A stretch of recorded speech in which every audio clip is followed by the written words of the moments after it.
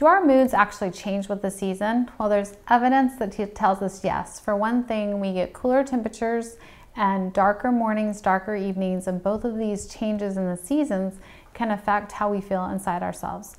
There's also changes in our behavior. For one thing, our kids go back to school. That brings changes in our relationships, changes in our routines, and that can put some pressure on people, especially those people who like to have a routine. Everything kind of got shaken up in the fall when your kids go back to school.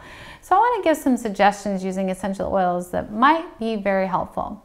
From doTERRA, we have Balance Blend. The Balance Blend is fantastic at providing that extra grounding and support. It can be applied topically to the earlobes and to the bottoms of the feet in the morning. I love that essential oil blend. Secondly, you can use Citrus Bliss. Love Citrus Bliss. It's a natural mood uplifter. It's in the citrus family and you can diffuse that and you can use yourself as a human diffuser by just putting a couple of drops in your hand, rubbing it together. I'm taking some deep breaths throughout the day, even putting it in a roll-on bottle and rolling it directly on your throat or an area of the body where you can smell it will be helpful.